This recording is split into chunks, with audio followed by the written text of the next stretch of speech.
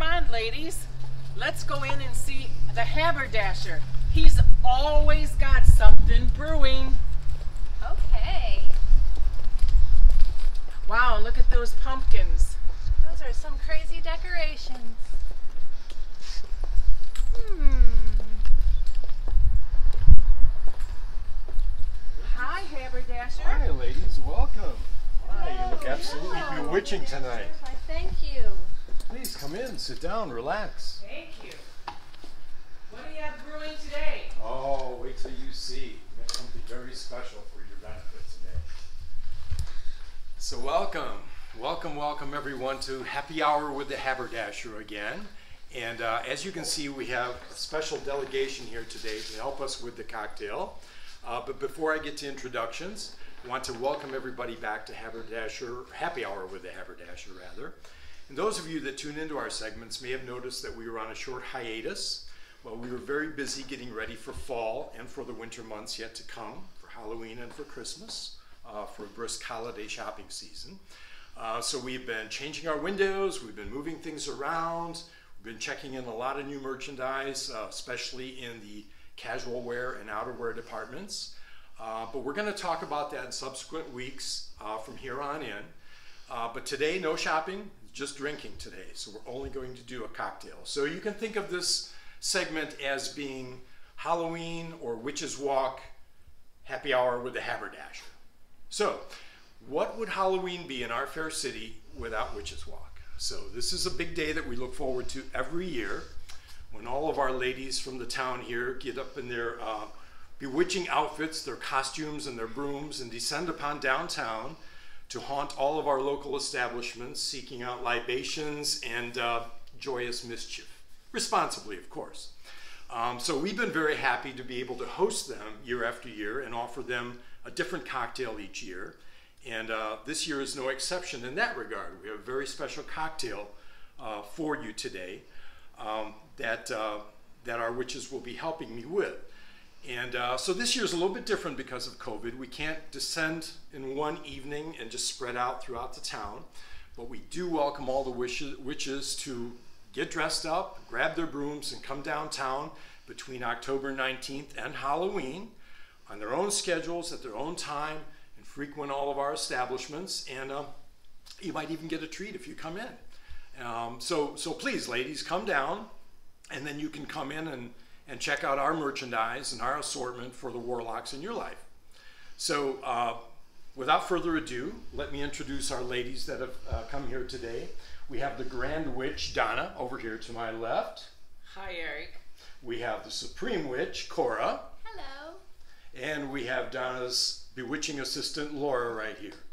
Good evening, haberdasher. So it makes a wonderful sandwich. I'm sorry. I'm sorry.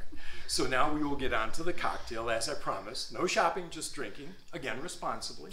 So the ladies are going to help me by explaining some of the ingredients that I'm going to be using in the cocktail today. So our cocktail is called Broom Fuel. And I assure you, after you have one, maybe two of these, you won't be able to repeat that in succession rapidly at all. So we're going to start with our principal ingredient in this. And before I do that, actually, I'm going to put some ice in the shaker. So this is going to be a shaken cocktail. So we're going to grab some ice in here. Now you can make this in a standard rocks glass, but today we've chosen to use these little cordial glasses that you'll see lined up here with a little ghost ship on it, um, because it's going to lend itself to our garnish a little bit easier. Plus, this is kind of potent fuel that we're going to be using today, so we're going to, we're going to start in smaller quantities. So if I do this right, we should have enough to fill all five of the little glasses here at least part way. So I'm using the shaker, and this would be the equivalent of like two regular rock-sized drinks, basically. So we're going to start with our principal ingredient, which is bourbon. Ladies, would you like to tell us a little bit about bourbon? I would love to tell you about bourbon because I looked in my book of spells and bourbon is used in magic to ward off evil. And I found an interesting tale about St. Patrick. So, St. Patrick was having a cocktail and he didn't like the size of his drink. So, he told the innkeeper that it was skimpy. And then he told the innkeeper that there was an evil spirit causing mischief in the basement of the inn. Well, the innkeeper was startled and upset and said, What can I do, St. Patrick? So, St. Patrick, being the devilish little person that he was, said, If you fill the glasses of all your customers to the brim, then the evil spirit will leave. And so the innkeeper did that. And he and then St. Patrick said, "The spirit is gone. He has left the building." So, Erik, be sure not to skimp on our cocktails today. I promise I will not. We have to dispel evil. Yes. We do. Yes, we do. We have to do that. And at home, you can anoint your windows and doors to keep the positive energy flowing. Hmm. It would be a waste of bourbon, however, would it? My husband would think it was a waste of good bourbon, also. Well, we have chosen a very special bourbon for our uh, cocktail today the Old Forester 1920 Prohibition style. So, this particular bourbon happens to be 115 proof. So, that I should say should uh, kick in the, the, broom fuel a little bit. So, we're going to start in our shaker with, uh, with two generous parts of our bourbon.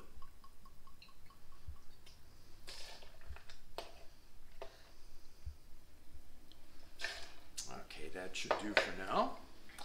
The next ingredient we are going to move to um, will be apple cider. Ladies, anything on cider? I can tell you a bit about apple cider. I don't have any St. Patrick stories to share, or any other saint, but I can tell you that apple cider is used in magic for harvesting what you have already planted. Say if you're working on getting a new job or a new home, drinking apple cider when visualizing the outcome will ensure your success. So, bottoms up to the cider. Wonderful. Well, we have uh, cider here today from the Enchanted Orchards of Quarry Hill. So we're going to use like a generous three or four parts of this actually so that we have enough here to work with.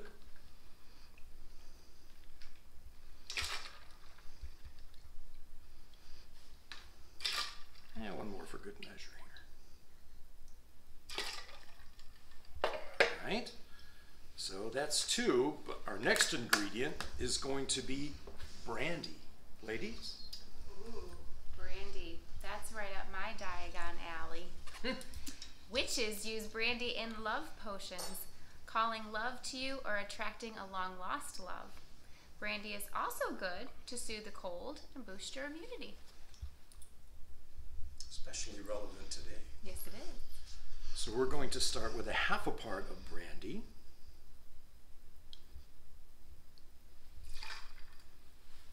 Generous, generous for all that good love.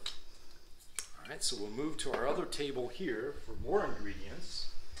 And uh, this time we're going to go with a little bit of maple syrup. Ah, maple syrup. Maple syrup, a favorite of some of my elf friends. Oh, it's also a good ingredient for marinating salmon, if you care to know that. Mm. Used in magic, maple syrup draws money to you and ensures a long life. Here's to money and long lives. Haberdasher likes both of those. So we're going to do two generous bar spoons full of maple syrup here. To sweeten this cocktail up a little bit. Just mix that in a little bit but we have more to do. So we're going to next add a little bit of Benedictine. So Benedictine is an interesting spirit. This was actually um, this was actually first uh, devised by a monk back in the 1500s, and it was first imported from France. Uh, it was a Benedictine monk. and It was first imported from France in 1888 to the United States, and it's comprised of 27 different plants and spices and I have read that there are only three people on the planet that know the full recipe of this particular uh, spirit.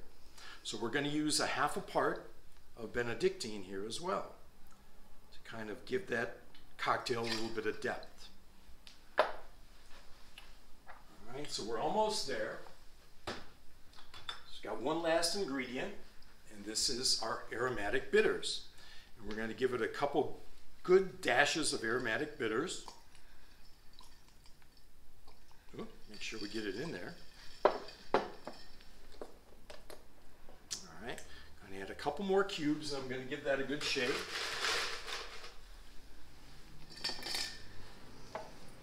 All right, about 15 or 20 seconds or so roughly.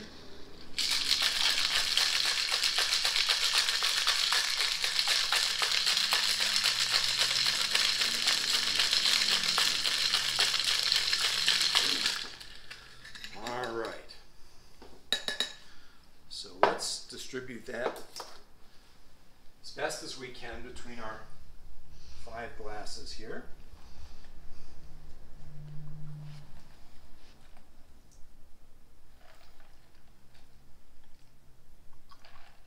That monk you spoke of, Erik, was a friend of mine. Was he really? I figured you two went way back.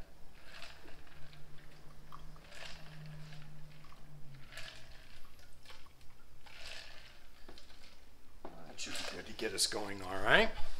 So now we have a special garnish plan for this, which is rather delicate. That's why I have them lined up here, little glasses uh, behind. So it's comprised of rosemary and cinnamon. Ladies, would you like to add something to either or both of those? I read something about rosemary. It says here that you can keep rosemary around the home for protection. Hang it in your doorway. And also, rosemary can be burned as an incense. And I have a spell that I use whenever I get the cinnamon out. Money flows, money grows. Money shine, money mine, so mote it be. Well, we have our witch's brooms all lined up here with our broom fuel. And we're going to light these brooms, add a little bit of smokiness, and hopefully we won't set the place on fire, God willing.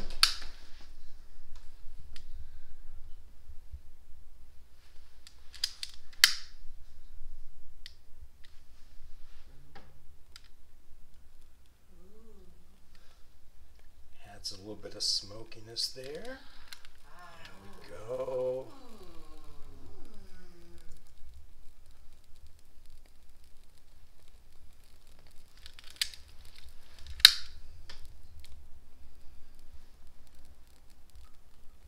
We'll let those burn down just a little bit, and then we'll serve it to our witches that have come to join us today.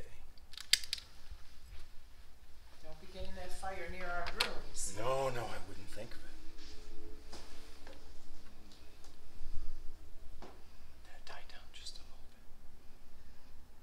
All right. Ladies, Thank you, haberdasher. you're very welcome. Joy. Thank you, kind sir. Welcome. For my videographer, I'm going to set this right over here on the edge of the counter because she's done such a great job. All right. So, ladies, Yes. cheers. Happy Halloween. Happy Witches Walk. Uh, drink and fly responsibly, please. And uh, enjoy. Cheers. Cheers. Ah,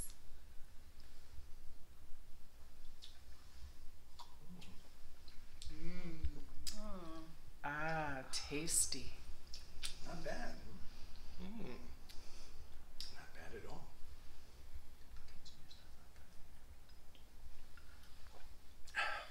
So, until next time, cheers. Take care. Happy Halloween. We'll see you. Bye. Bye. Cheers, witches.